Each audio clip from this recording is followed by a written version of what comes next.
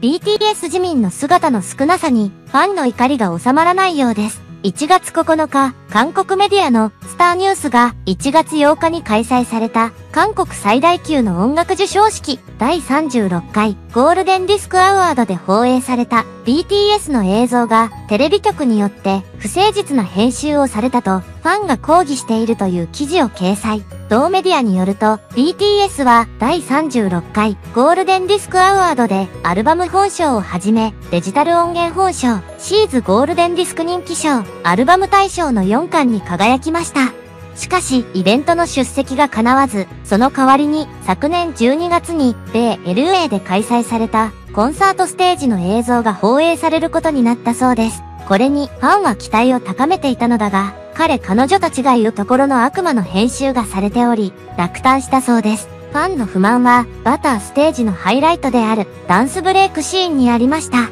誰の目から見ても不自然で意図的な編集で、ステージクオリティを落としただけでなく、センターで革新的役割を果たしている BTS のメインダンサー、ジミンの姿が見当たらなかったというのです。多くのライブステージではメインダンスパートにカメラ転換が存在しているが、今回は LA コンサート当時のストリーミングした映像をそのままを使用しているため、ライブではなかったという点で、編集をする理由が全くなかったはずだとファンは主張。そしてメンバー全員を映したものをそのまま放送すれば問題がなかったと強調していると記載されています。既存の映像では6台のカメラのほとんどがメインダンサーである自民のダンスブレイクに向かっていたそうで実際にゴールデンディスクアワードの放送を見てみるとダンスブレイクが始まると本来の映像とは違いその部分がぎこちなく編集され自民のセンターパートが終わってから再び中央を映していたこれがファンの怒りを買っているとみられます。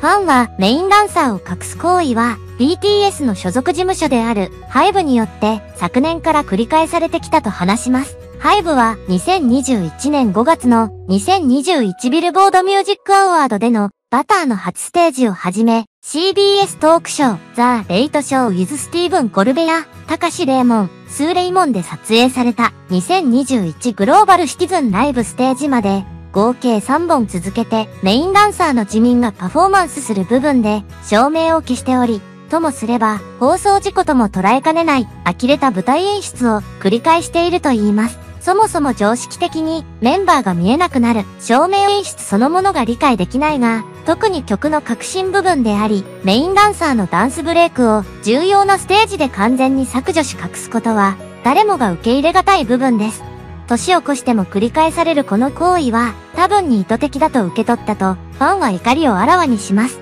彼らがデビュー当初に披露した腹筋パフォーマンスから高難易度のマーシャルアーツなどパフォーマンスグループとしてチームを牽引し、その名を広めてきたことで知られる。主人公のジミン、彼は楽曲導入部の職人として生まれ変わった、血、汗、涙、伝説の333と呼ばれる、ファイヤーパート。424の男を生んだ、 Not Today、芸術的価値をつけた、 Black Swan、そして新たなキリングパート。1時11分、1分11秒を加えた、バターと、国内外で彼をセンターにした映像がニュースに引用されるなど数多くの話題を集めているメンバーです。動く芸術、世界的ダンサーの帝王として認められている、自民の唯一無二のオリジナリティ溢れるステージパワーは、BTS の差別化されたアイデンティティとして、ファンやマスコミ、専門家たちから称賛を受けているにもかかわらず、肝心な所属事務所の背部は、多くの大衆に露出される、国内授賞式やビルボードなどという重要なステージの場で、それを披露しないという行為を繰り返しており、